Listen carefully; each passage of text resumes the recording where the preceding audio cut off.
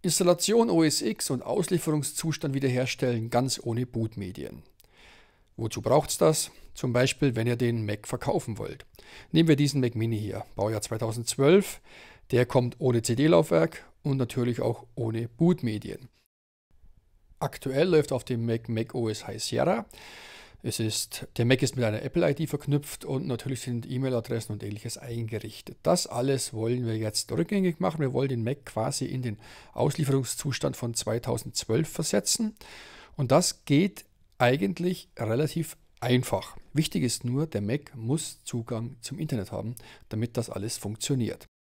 Die ersten Macs ohne optisches Laufwerk und ohne Bootmedien sorgten seinerzeit für einen Aufschrei. Aber natürlich hat Apple ein Hintertürchen geschaffen, das es ermöglicht, das System auch ohne Bootmedium auf einem Mac neu zu installieren. Und das geht so. Zunächst müssen wir den Mac neu starten und halten von Beginn an die Tastaturkombination Shift, Option, Command und R gedrückt.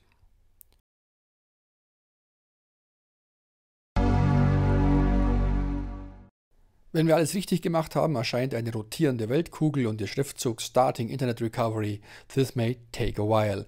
Wie lange diese Weile ist, das hängt von eurer bestehenden Internetverbindung ab. Sind die Installationsdateien geladen, startet der Mac neu und es erscheint ein vertrautes Fenster. Drücken Sie den Zeilenschalter, um Deutsch als Standardsprache zu verwenden. Wir wählen Deutsch und es erscheint das Fenster OS X Dienstprogramme. Jetzt könnten wir das OS X erneut installieren, aber ich entscheide mich zunächst für das Festplattendienstprogramm. Warum? Der Mac soll ja verkauft werden und ich will sicher gehen, also werde ich die interne Platte, die 1 TB Apple HDD, einfach noch einmal händisch löschen. Dazu wähle ich die Festplatte aus, gehe dann auf den Menüpunkt Löschen und klicke auf Löschen. Das Ganze dauert nur ein paar Sekunden. Wenn der Löschvorgang erfolgreich abgeschlossen ist, schließe ich das Festplattendienstprogramm wieder und komme zurück in das Fenster OS X Dienstprogramme. Jetzt wählen wir hier OS X erneut installieren aus und klicken auf Fortfahren und siehe da, es erscheint die Installationsroutine von Mavericks. Das System also, mit dem der Mac ursprünglich 2012 ausgeliefert wurde. Wir müssen jetzt hier noch die Softwarelizenz abnicken. Dann wählen wir das Volume aus, das heißt in diesem Fall ohne Titel, weil wir es nicht umbenannt haben. Und schon beginnt die Installation von OS X Mavericks auf unserem Mac Mini. Im Anschluss wird der Mac neu gestartet und der zweite Teil der Installation beginnt. Das Ganze dauert etwa 30 Minuten, dann startet der Mac abermals neu und es erscheint eine vertraute Oberfläche, nämlich genau die, die man sieht, wenn man den Mac zum allerersten Mal in Betrieb nimmt.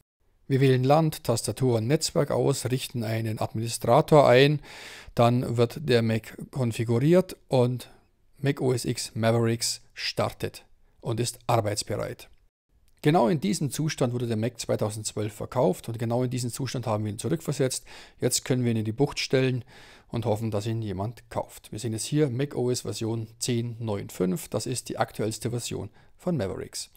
So einfach setzt man einen alten Mac in den Auslieferungszustand zurück. Ein paar Tastenkürzel und ordentlich warten. Mehr ist es eigentlich nicht. Ich hoffe, der Film konnte euch weiterhelfen. Wenn ja, dann liked ihn. Und ich würde mich freuen, wenn ihr auch den Kanal abonnieren würdet, damit ihr immer auf den Laufenden bleibt, was an neuen Filmen so kommt.